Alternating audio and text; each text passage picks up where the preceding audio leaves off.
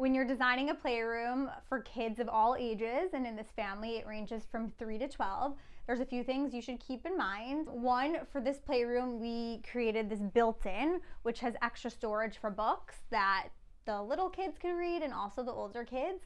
And then underneath, we have more storage for toys for them. So everything could be put away, but also accessible. And then we also created in this room a custom play table that they can use for arts and crafts and it also has storage underneath it for more books and other things. And then also in this room we have this big comfortable sofa which can be used to watch tv or movies.